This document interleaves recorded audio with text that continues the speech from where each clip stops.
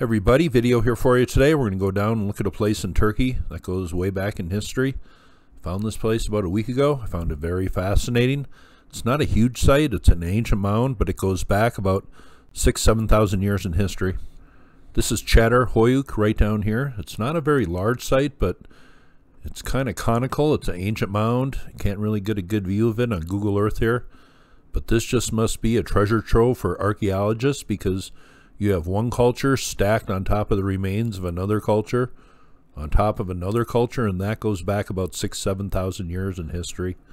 Now, obviously, the ancient mound is the most noticeable thing at Çadır but there are other ruins, probably under the farmer's field.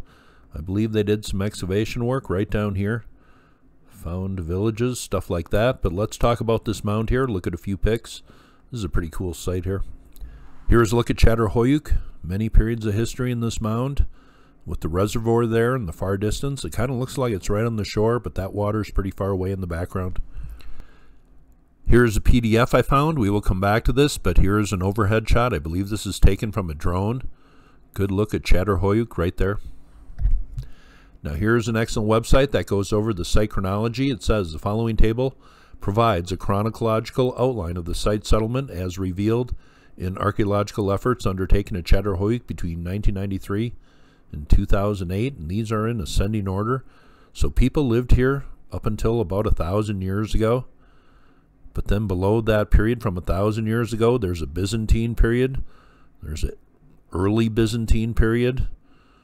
There's a Roman period, a Hellenistic period, a late Iron Age period, a Middle Iron Age period, a late Bronze period, Middle Bronze period, Early Bronze period, Chalcolithic period, just different layers of human civilizations living in this one little spot here. I think this is very cool. And then it goes all the way down to 5500 BC, and they just have not excavated the lower parts of this mound. So really what is found below the early Chalcolithic period is really unknown, but they got down to about 7,300 years ago in this mound, and people lived here up until about a thousand years ago, so that's over 6,000 years of history at this one site here. I just thought this website was excellent. It goes over the dates here and what exactly was found at these different levels. You notice they cut a trench down the side here on that little pic. But it says these phases are numbered in ascending order on the assumption that we have exposed all major phases that we will find, with the possible exception of the Neolithic, and that would be down at the very bottom of the mound. What is down there? Well, that's a good question. Here is one website I will leave below. The excavations at Çadır done in 2005, goes over the archaeological team and what they did here. Specifically, it says the large staff and the workers allowed us to expand the excavation and the work in five separate areas of the site. Since, as a result of previous excavation seasons, we have become very interested in the Hittite remains in this part of Anatolia. Much of our effort was expanded working in places that we thought might give us the best results. Excavation is a long process and sometimes requires several seasons of work to achieve even small objectives, but this year was especially rewarding. It says, Is Çadır the Hittite Zippalanda? Well, that is a good question. Some people associate that ancient name to these remains here in this area of the world. Here's some more looks at the excavation work, but can you imagine just one place here and you can study the Hittites, the Byzantine period, the Roman period, Hellenistic period, all sorts of periods of history. I think this is very cool. Here's an overhead shot at just one area that they opened up. Ruins, just stacked on top of ruins. This is very cool. Must be great to work here. But here are some other things they found archaeological work, pretty cool in this area. It says the ringed interior rooms on the western side of the mound and the plastered gateway. Here is another drone shot looking down on the ruins at the top of the mound. This was taken by the 2017-2018 team that was here, and here they are in front of the mound.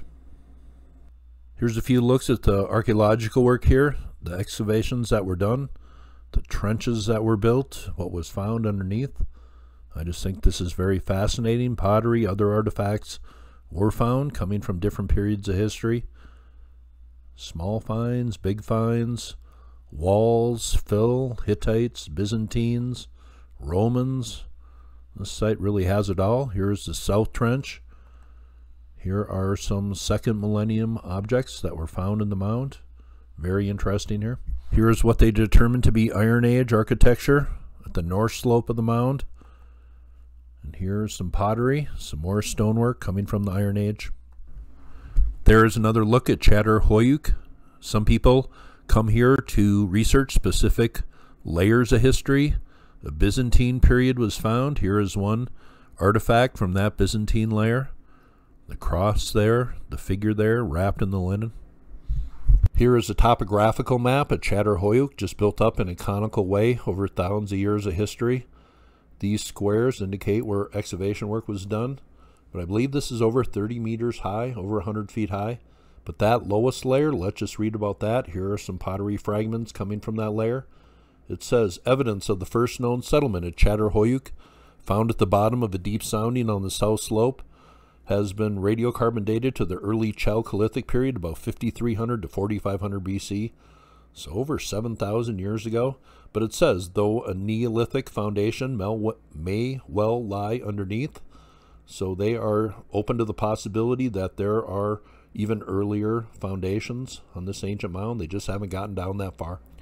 This website talks about many different periods of history here. There is an Assyrian period before the Hittite period, which begins about 1400 BC. It says here, these are Hittite libation bowls. But it says a monumental gate built in the time of the Hittite Empire supports that Çadır was a core city in the Hittite homeland.